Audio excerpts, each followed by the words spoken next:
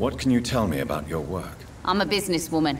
I buy and sell things, and I send my wet boot boys after anyone who don't play nice with me. Since my return from the war, I don't feel that concerned by threats, knives, or even bullets, if you must know. That's exactly what that stupid trade unionist claimed after he attacked one of us. Booth and I reminded him a bullet beats words every time.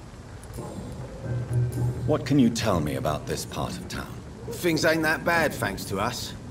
We give people what they need, and we control this borough. Well, you're not doing a very good job.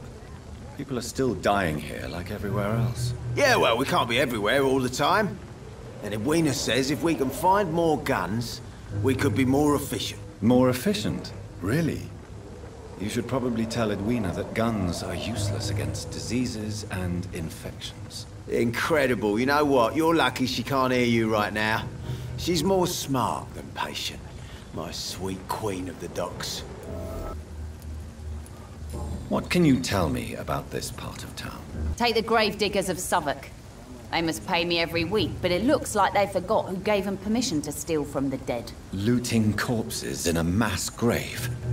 That's... That is a new low. Whatever.